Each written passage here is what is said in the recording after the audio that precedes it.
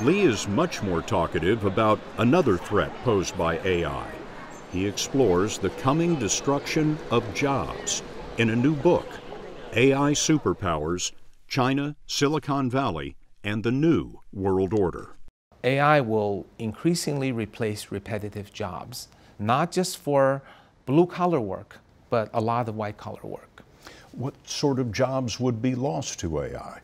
Basically, chauffeurs, truck drivers, uh, anyone who does driving for a living, uh, their jobs will be disrupted more in the 15 to 20 year uh, time frame.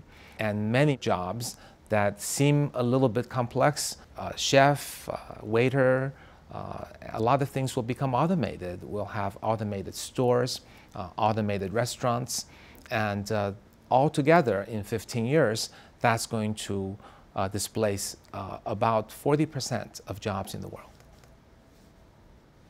40% of jobs in the world will be displaced by technology? Uh, I would say displaceable. What does that do to the fabric of society? Well, in some sense, there's the human wisdom that always overcomes these technology revolutions. The invention of the steam engine, uh, the sewing machine, the uh, electricity uh, have all displaced jobs, uh, and we've gotten over it. The challenge of AI is this 40%, whether it's 15 or 25 years, is coming faster than the previous revolutions.